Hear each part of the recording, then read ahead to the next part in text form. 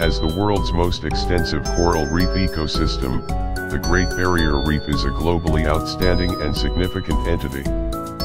Practically the entire ecosystem was inscribed as World Heritage in 1981, covering an area of 348,000 square kilometers. The Great Barrier Reef includes extensive cross-shelf diversity, stretching from the low water mark along the mainland coast, up to 250 kilometers offshore.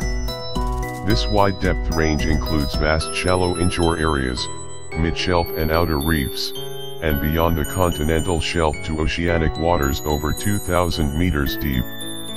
It contains the world's largest collection of coral reefs, with 400 types of coral, 1,500 species of fish and 4,000 types of mollusk.